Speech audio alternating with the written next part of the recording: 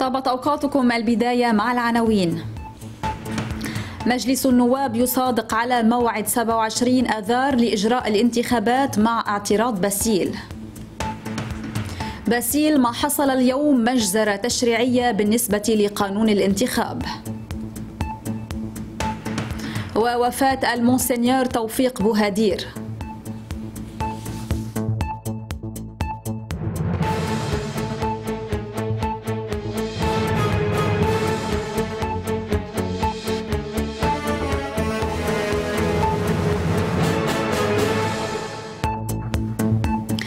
الثانية والربع بتوقيت بيروت. أهلا بكم إلى هذه النشرة التي تبث أيضا عبر الموقع otv.com.lb ومن خلال فيسبوك وتويتر. البداية من الجلسة التشريعية لمجلس النواب والتي صادق فيها المجلس على موعد 27 آذار لإجراء الانتخابات النيابية مع اعتراض رئيس تكتل لبنان القوي النائب جبران باسيل. المزيد من التفاصيل مع مراسلتنا ريتا نصور أنجليني. ريتا إذا يعطيك العافية. يعني جلسة صاخبة ومتوترة حصلت اليوم. نتج عنا مواقف عدة. كل التفاصيل معك. تفضلي. صحيح آه، باميلا خليني بلش بالأول بالشق السياسي لأنه آه، يمكن كل رسائلنا السابقة قبيل انطلاق هذه الجلسة كنا عم نقول إنه هذه الجلسة تنطلق على وقع الاشتباك اللي صار بالشارع من كم يوم على وقع حادثة الطيونة وإذا رح يكون في لها أي تأثير أو أي ارتدادات على المجلس النيابي. على العكس تماما آه، اللي كانوا من كم يوم مشتبكين بالشارع اليوم كان في تناغم تام بين نواب كتلة التنمية والتحرير ونواب كتلة القوات اللبنانية فيما يتعلق بقانون الانتخاب. وهذا التناغم اللي شمل معظم الكتل النيابية باستثناء التيار الوطني الحر طير كل الإصلاحات وكل الحقوق اللي عدت إنجازات واللي أمنها قانون الانتخاب سنة 2017 خليني بلش بموضوع تاريخ الانتخابات النيابية اللي صادق مجلس النواب على التوصية الصادرة عن اللجان المشتركة أنه يكون ب 27 أدار على وقع اعتراض التيار الوطني الحر آه، لثلاث أسباب. السبب الأول يتعلق بالصوم السبب الثاني يتعلق بالأحوال آه، آه، تأس بهيدي الفترة والسبب الثالث يتعلق أنه في ناس سيحرموا من حق الانتخاب نتيجة تقريب هذا الموعد. وبالتالي التيار الوطني الحر سيتقدم بطعن أمام المجلس الدستوري في هذا الشأن. آه، هيدا الموضوع طبعا كان مدار أخذ ورد داخل الجلسة ولكن الرئيس بري كان جازم لما حكى الوزير باسيل فيه وقال له آه، صار وهلأ بدنا نكفي بالجلسة وما قبل ابدا إعادة النظر فيه. موضوع المنتشرين وتصويتهم أيضا كان من المواضيع السجاليه داخل هذه الجلسة. القانون الحالي اللي أقر عام 2017 يخصص ست مقاعد للمنتشرين حتى آه، يعني هي الدائره 16 حتى آه، يكونوا عم ينتخبوا من خلالها بالدورة الحالية دورة 2022 التيار الوطني الحر ويساند حزب الله بالموقف هن الوحيدين اللي دافعوا عن موضوع المقاعد الستة بالإضافة إلى بعض النواب المستقلين منهم عم بذكر على سبيل المثال النائب إليل فرزلي والنائب جهاد الصمد. بينما بقية الكتل النيابية كلها كانت مع حق المنتشرين بالاقتراع لل 128 نائب. هذا الموضوع الموضوع رد عليه جبران باسيل وقال داخل الجلسة بس هن أصلا إذا عم ينتخبوا آه، بالدوائر ال 15 هن ما عم ينتخبوا لل 128 نائب هن عم ينتخبوا لنواب دائرتهم. وبالتالي ما فيكم آه، تقولوا إنه آه، نحن عم نحرمهم الحق لل 128 وبضل عندهم حق يصوتوا بالداخل أو بالخارج. تم التصويت على هذا الأمر برفع الأيدي وعدل القانون لجهة إبقاء حق المنتشرين بالتصويت لل 128 من دون تخصيص ست مقاعد لهم اعترض باسيل مرة جديدة وطلب إعادة التصويت على موضوع قانون الانتخاب لأنه صار في بلبلة وما حدا فهم مين صوت معه ومين صوت ضد. رجع تم التصويت بالمنادات وأيضا حصلت بلبلة وسجال بين باسيل والرئيس بري على خلفية طريقة التصويت حول هذا الموضوع. ومرة جديدة مجلس النواب بقي على موقفه لجهة تعديل القانون الحالي وتعديل هذا الحق اللي أعطي للمنتشرين سنة 2017 ونرجع لورا ونبقى على التصويت لل 128 128 نايب اللافت بهذا الموضوع. أمرين أنه آه، من بعد التصويت للمرة الثانية كان لافت أنه نواب القوات اللبنانية صفقوا مبتهجين داخل هذه الجلسة. أما الأمر الثاني اللافت هو المداخلة الغريبة اللي أدلى فيها النائب بيير أبو عاصي النائب القواتي حول هذا الموضوع واللي هو اعتبر أنه في أسطورة بتحكي عن ملايين المنتشرين بالخارج. آه، بس الحقيقة بالنسبة لبيير أبو عاصي إنه هودي ما همهم بلبنان إلا الكبة والصفيحه وعدد قليل جدا هو الذي يهتم بالداخل اللبناني. آه، وهن ما بيتعدوا 350 ألف آه، شخص اللي هاجروا بالفترة الأخيرة. ولذلك هو مع إنه يكونوا عم بيصوتوا لل 128 طبعا هذا الكلام اضطر ب رئيس تيار الوطن الحر للرد عليه وتيقول له لا منن زينه موضوع ال 128 منن زينه موضوع آه، آه، نواب الاغتراب والاغتراب والمنتشرين ما يختصروا بكبة وصفيحة مثل ما عم بتقول. طبعا كان في أسئلة حول هذا الموضوع وجدل إنه إذا خصصنا ست مقاعد للنواب كيف رح يتقسموا حسب آه، القارات وكيف رح يكونوا طوائفهم فتدخل باسيل وقال إنه آه، في عدة طرق لحل هذه الآلية وهذا يقع على عاتق وزير الداخلية ووزير الخارجية ومش شغلتنا كمجلس نيابي وهذا مذكور ضمن القانون أيضا. ولكن إذا بدكم طرق نحن مستعدين نقترح طريقة أنه لوائح الأيد اللي هي هلأ عم يتسجلوا على أساسها المنتشرين آه، ممكن تستخدم. يعني مثلا أستراليا إذا كانوا أغلبيتهم من الموارنة يعطى مقعد ماروني لهم على سبيل المثال. فبيقوم بيقول هون بيير أبو عاصي c'est dangereux يعني هيدا خطير. باللغة آه، الفرنسية بيقول له باسيل الخطير هو إذا هيدا خطير ليش مشيتوا فيه سنة 2017 وكل الكتل مشيت فيه وإجماع على قانون الانتخاب سنة 2017 ليش أصلا بالداخل اللبناني؟ كيف بيتم انتخاب وكيف بيتم تحديد المقاعد؟ مش حسب الأكثرية الموجودة داخل هذه الدائرة. أو تلك بالنتيجة سقط موضوع الست مقاعد وتم الإبقاء على ال 128 وهذا الأمر أيضا سيطعن فيه التيار الوطني الحر كما كما أكد باسيل أمام المجلس الدستوري لأنه نحن اليوم عم نتراجع عن حق وهيدا يعارض مبدأ دستوري. بالنسبة للبطاقة الممغنطة وال mega center كمان صار في سجال آه، حولها رفض مجلس النواب موضوع البطاقة الممغنطة. هي موجودة ضمن القانون فراح أبعد من هيك وعلقها للدورة الحالية يعني دورة 2022 أما ال mega center فهي منا مذكورة بالقانون ولكن الرئيس بري ما سمح حتى بإجراء حوار حولها وهذا الشيء تسبب تسبب بسجال جديد بينه وبين باسيل لأنه كان عم بيقول آه، آه، رئيس التيار داخل هذه الجلسة إنه خلونا نتحاور بالقليل بالنسبة لل mega center خلونا نشوف وزير الداخلية شو عنده بهذا الإطار. كل هذا الأمر انتهى إلى أنه ما في mega center رغم أهمية هذا الإصلاح كان مفروض يكون لأنه اولا بظل التكلفة العالية للتنقلات والمواصلات اليوم وثانيا لأنه ال mega center بتخفف من التأثير السياسي والمالي وربما الأمني على الناخبين ولكن حتى هذا الإصلاح لم يقر. الرئيس ميقاتي كان عنده مداخلة مهمة بهذا الشأن حيث اعتبر أنه صحيح هي ال mega center منه منصوص عنها بقانون الانتخاب ولكن آه، واقعيا يجب أن نتعاطى بواقعية مع هذا الموضوع. وقال حرفيا مش معقول اللي بأستراليا يقدر يصوت آه، آه، بلبنان ويعطي صوته لنايبه اللي بعكار مثلا. وابن عكار إذا هو موجود ببيروت بده يطلع على عكار تيصوت ووكل وزير الداخلية بإنجاز دراسة حول هذا الموضوع من الناحية التنظيمية ومن الناحية المادية والكلفة. تعديلات نعم. عديدة أدخلت على قانون الانتخاب الانتخاب ولكن هي تعديلات تقنية تتعلق بالمهل من نشر القوائم الانتخابية إلى هيئة الإشراف على الانتخابات. آه، تعديلات تتعلق برسم الترشح للانتخاب على النائب أن يدفع 30 مليون ليرة بدل 8 مليون. وأيضا آه، آه، الإنفاق الانتخابي سقف الإنفاق الانتخابي تم تعديله كان بالقانون الحالي 150 مليون لكل مرشح 150 مليون للائحة و5000 ليرة عن كل فرد من أفراد الدائرة عن كل ناخب في هذه الدائرة. ولكن مع انهيار مليار الليرة اللبنانية تم تعديل هذه السقوف لتصبح 750 مليون ليرة. للمرشح 750 مليون ليرة.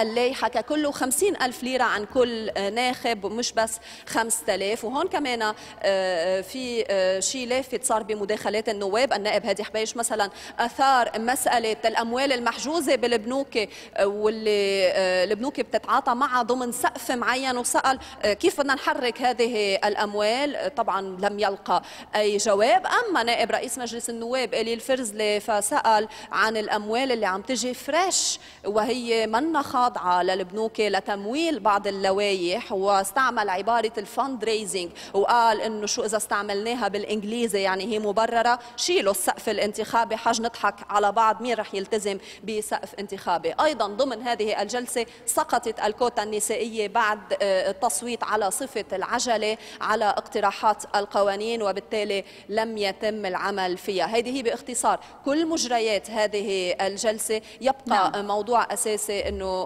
كل ما يتعلق بالقاضي بيطار لم تتم إثارته داخل هذه الجلسة ولكن حكي فيه بالخارج الوزير محمد مرتضى وكان عنده موقف بهذا الشأن. على كل حال نستمع الآن إلى أبرز المداخلات اللي اجت على هامش هذه الجلسة.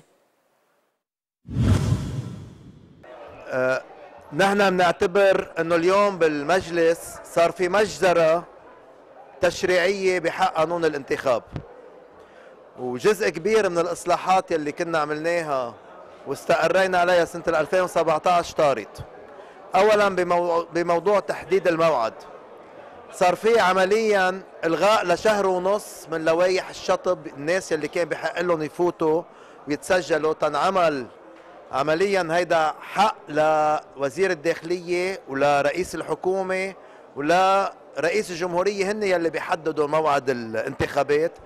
المجلس النيابي اللي عمله يوم عمل مجال إنه تنعمل انتخابات بشهر اذار وهذا بنعتبره عملية تلاعب بالعملية الانتخابية لأنه هي أول مرة بعتقد واحد بيعرض العملية الانتخابية لمخاطر الطقس بشكل كتير كبير لأنه فرجينا للمجلس إنه أدار على طول بيحمل عواصف ما بعتقد إنه بيتحمل النهار الانتخابي والحملات الانتخابية. نحن بلدنا نصه جرد ونصه جبال عواصف ثلجية بتقدر تعيق وتعرقل العملية الانتخابية. اثنين أشرنا لموضوع الصوم عند المسيحيين لأنه عم بينعمل بقلب فترة الصوم وبعتقد في كثير ناس بيصوموا.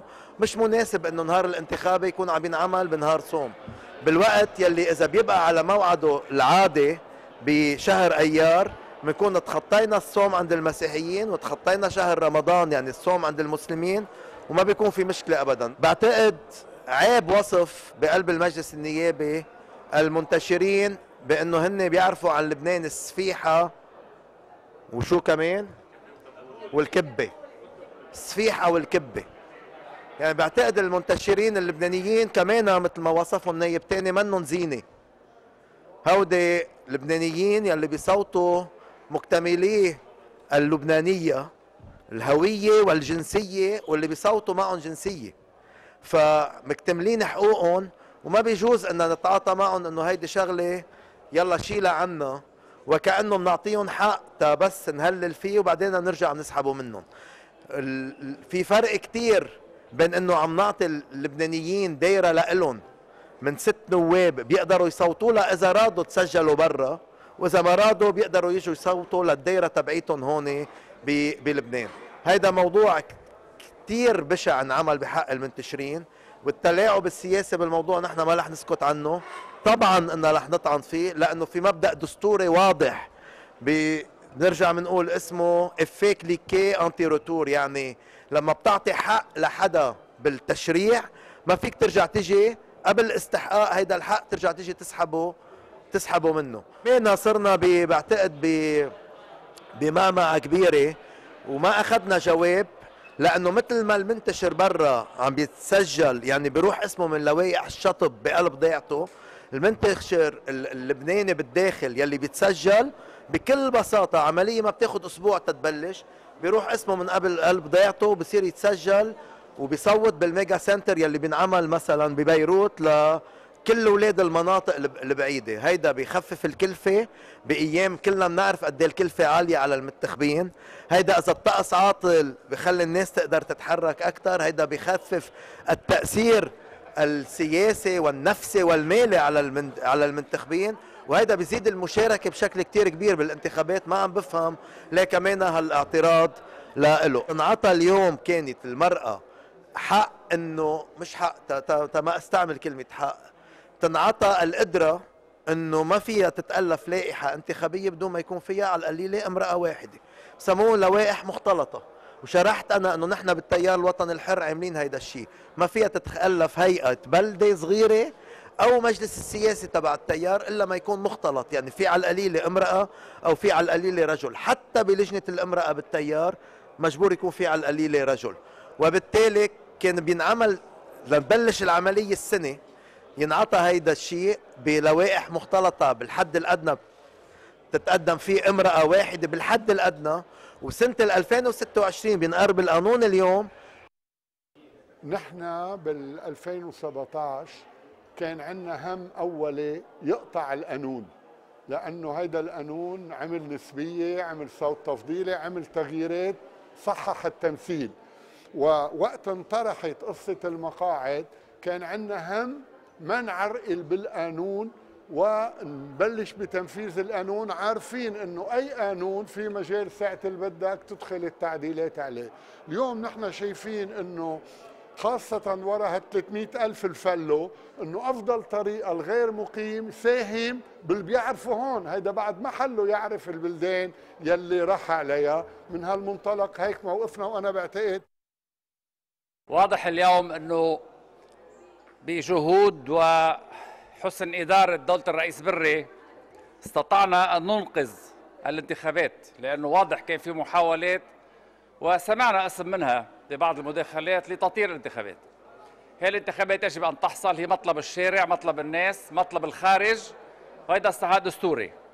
ولكن على هامش هذا الموضوع سأتلي رأينا كحزب تقدم اشتراكي. باختصار وصلنا إلى الانهيار الكامل والاهتراء الشامل وما زلنا نكابر.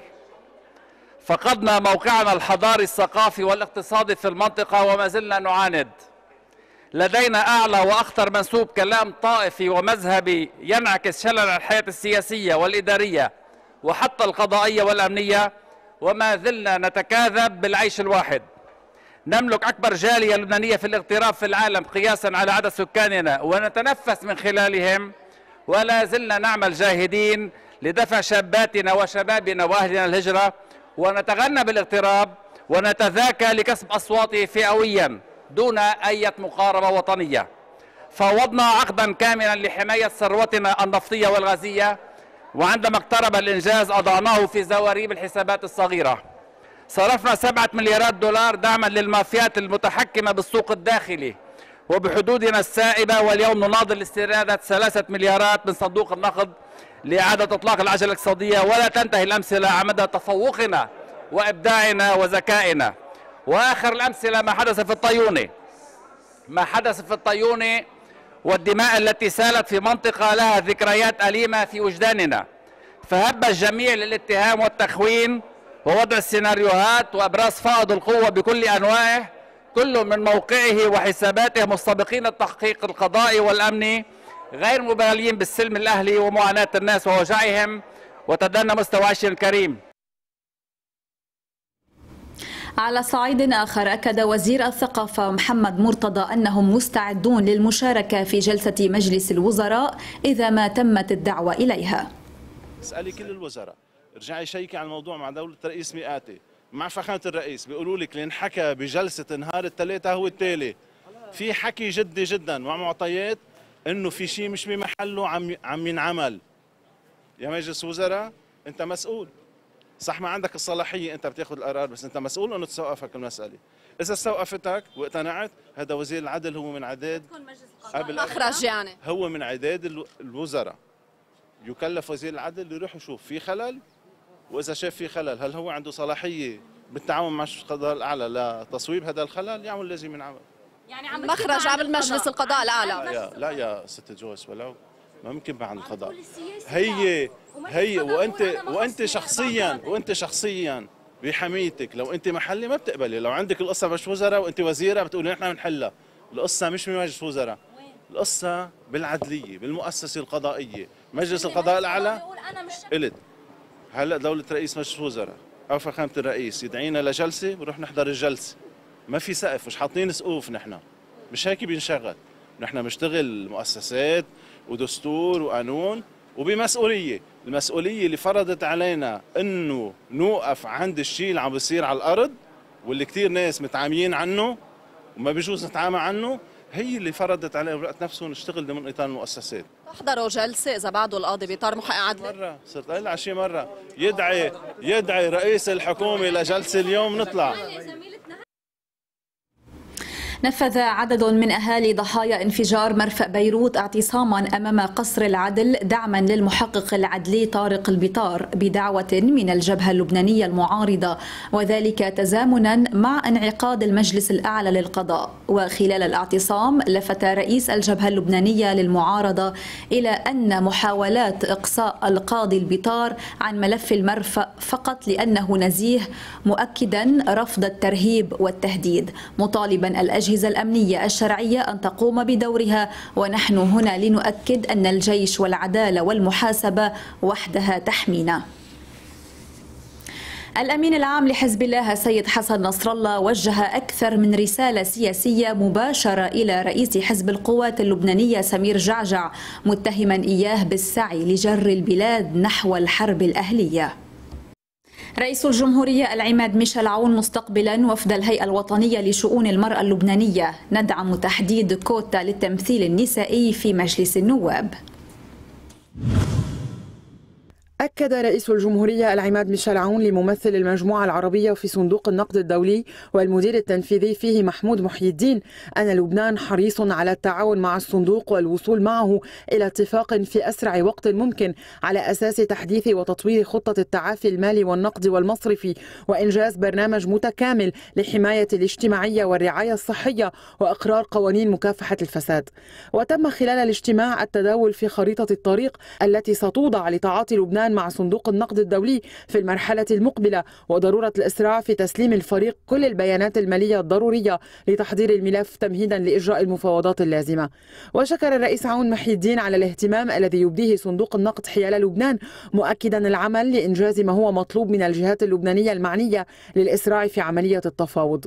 من جهته أوضح محي الدين أنه تداول مع الرئيس عون في التعاون القائم بين الدولة اللبنانية وصندوق النقد وأشار إلى أنه مع وجود حكومة جديدة جديدة كاملة الصلاحيات. سيكون من الممكن إنجاز التفاوض بين لبنان والصندوق ومع وزراء في الحكومة معنيين بالتعاون مع مصرف لبنان على نقل الصورة الكاملة إلى خبراء الصندوق للمضي بمسار التفاوض قدما والذي يهدف إلى النهوض بالاقتصاد اللبناني واستعادة الثقة به. على صعيد آخر أكد الرئيس عون دعمه لتحديد كوتا للتمثيل النسائي في مجلس النواب.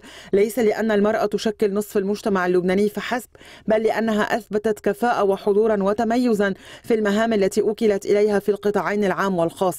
وشدد الرئيس عون على أن حضور النساء في السلطة التشريعية يشكل قيمة إضافية للتمثيل الشعبي من جهة ويجسد المساواة بين الرجل والمرأة ويسقط أي تمييز بينهما لافتا إلى استعداده الدائم لدعم أي تعديل دستوري يحقق هذا الهدف. كلام الرئيس عون جاء خلال استقباله في قصر بعبدة وفد الهيئة الوطنية لشؤون المرأة اللبنانية برئاسة كلودين عون روكوز التي أكدت أنه لم يعد يعقل أن يوصف نظامنا بالديمقراطي في حين لا يتمثل فيه نصف مواطنيه إلا بشكل رمزي. ولم يعد يعقل في ظل ظروف نحن بأمس الحاجة فيها إلى إعادة إحياء دينامية مؤسساتنا أن تستبعد النساء عن المشاركة في ورشة التشريع المنتظرة. وتداول أعضاء الوفد مع الرئيس عون السبل الآيلة إلى تحقيق مطالب الهيئة والتعاون الذي يفترض أن يقوم بين السلطات المختصة لتحقيق الأهداف المرجوة. في بلدة وادي الجاموس تدور اشتباكات منذ الصباح بين أفراد من عائلتي الطرطوس والسيد وجرت عمليات أحراق للمنازل والسيارات وأدت إلى مقتل وجرح عدد من المواطنين. نقلوا جميعا إلى مركز اليوسف الإستقصائية في حلبة وحال بعض الجرحى حرجة. وكانت قوى من الجيش دخلت البلدة وتقوم بجهود كبيرة منذ الصباح لوقف إطلاق النار وإعادة الهدوء. أفاد المركز الأوروبي لرصد الزلازل بأن زلزالا بقوة 6.4 درجات هز البحر الأبيض المتوسط في حين أفادت وسائل إعلام بأن سكان مصر ولبنان شعروا بالهزة وأشار المركز إلى أن الهزة وقعت على بعد 219 كيلومترا من جنوب جزيرة رودوس اليونانية. وأوضحت إدارة الكوارث والطوارئ التركية أفاد أن زلزالا بقوة 6 درجات ضرب سواحل ولاية أنطاليا. هذا وقالت رويترز نقلا عن شهود إن سكان العاصمة المصرية القاهرة ومدن أخرى شعروا بهذا الزلزال. الكنيسة تفجع برحيل المونسنيور توفيق بوهدير. فاصل ونتابع النشرة. أهلا بكم من جديد إلى الأخبار الإقليمية والدولية. في جديد الملف النووي الإيراني قال الرئيس الإيراني إبراهيم رئيسي إن رفع العقوبات مؤشر على جدية الطرف المقابل في المفاوضات النووية ونحن سنتابع المفاوضات إن كان الطرف المقابل جاد في رفع العقوبات. وأكد رئيسي إن طهران لا تربط الاقتصاد بالمفاوضات النووية ونحن لم نترك المفاوضات وملتزمون بها. كما أبلغ أبلغنا الطرف الأوروبي بأننا نريد مشاهدة هذه الجدية من الطرف الآخر أيضا. من جهة أخرى أشار رئيسي إلى أن موقفنا الثابت من أحداث أفغانستان هو تشكيل حكومة شاملة في البلاد مشددا على أننا نسعى للاستقرار والأمن في أفغانستان خلافا لما تسعى إليه الولايات المتحدة من خلال داعش التي تثير الفتن في بعض الدول ولا سيما أفغانستان. أكد وزير الخارجية الأمريكية أنتوني بلينكن أن المبعوث الخاص للولايات المتحدة المعني بأفغانستان خليل زاد قرر الاستقالة من منصبه ليتولى نائبه الحالي توم ويست هذه المهام. وأكد بلينكن أن ويست نائب خليل زاد والذي اشتغل سابقا في فريق الأمن القومي خلال فترة تولي جو بايدن منصب نائب الرئيس في إدارة باراك أوباما. سيعمل مبعوث مبعوثا امريكيا جديدا إلى أفغانستان.